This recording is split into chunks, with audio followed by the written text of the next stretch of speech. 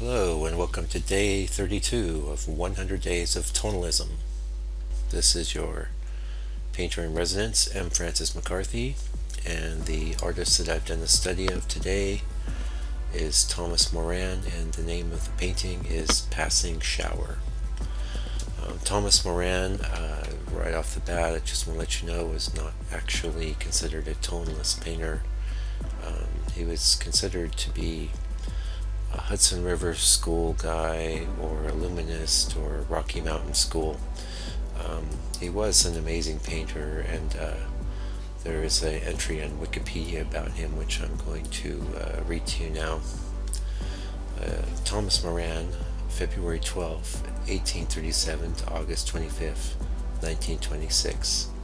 From Bolton, England, was an American painter and printmaker of the Hudson River School in New York whose work often featured the Rocky Mountains.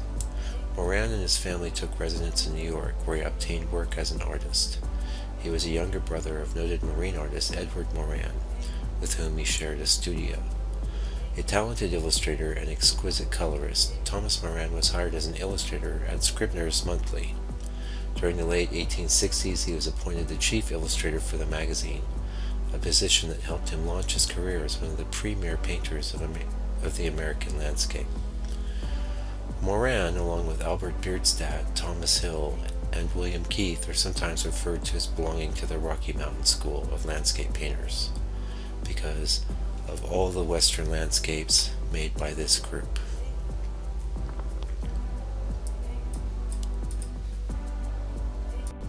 Uh, moving on to another site with some additional biographical information. Um, this is lucidcafe.com. Um, here it uh, says that he was the son of a handloom weaver. His family, including brothers Edward and Peter, immigrated to the United States in 1844. He grew up in Philadelphia, where he was apprenticed to a wood engraver, sketching designs on the blocks. His older brother, Edward, who was an established landscape painter, provided Thomas with his first art lessons. Moran worked initially with watercolor but soon turned to oil.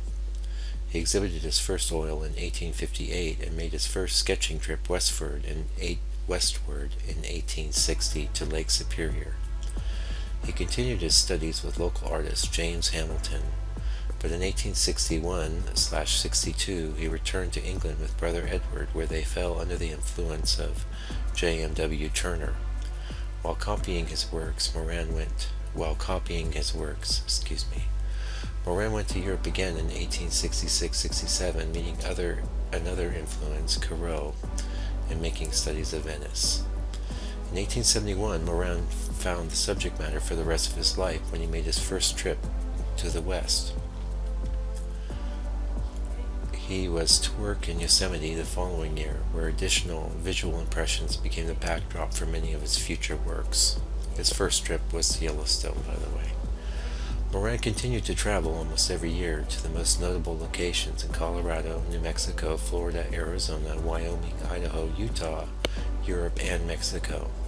He would return to his studio successively in Philadelphia, Newark, Long Island, and Pasadena, and finally Santa Barbara to paint from the many sketches he made during his travels. When Moran was just 36, he painted the Grand Canyon of the Colorado, which brought Congress, which Congress bought along with the Yellowstone painting for $10,000 each in 1873. $10,000 was big money back then. Moran's style is often likened to Turner and sometimes to Corot. His versatility and technical correctness enabled him to adopt the characteristics of many masters. A master of composition and pictorial effectiveness, his paintings are smooth and glossy to the point of resembling a mechanical print. In contrast to Bierstadt and Thomas Hill, Moran's Western paintings, with a distinctive monogram developed in 1873 and the thumbprint affixed from 1911, remained in demand during his entire career. He remains internationally famous for his panoramic landscapes of Yellowstone, Yosemite, and the Grand Canyon. Mount Moran in the Tetons and Moran Point in Yosemite are both named after him. Moran painted his emotions as landscape. Here's a quote. I place no value upon literal transcriptions from nature. All my tendencies are towards idealization. A place as a place has no value in itself to the artist. While I desire to be truly to I desire to tell truly of nature, I do not wish to realize the scene literally, but to convey its true impression. Still debunking modern art, at his deathbed at 90, he saw his own yet to be painted landscapes on the ceiling and talked of them. Moran died in Santa Barbara in 1926. Uh, well, and uh, we've this is quite a long video um, for us, and uh, I put quite a lot of polish and finish into this study.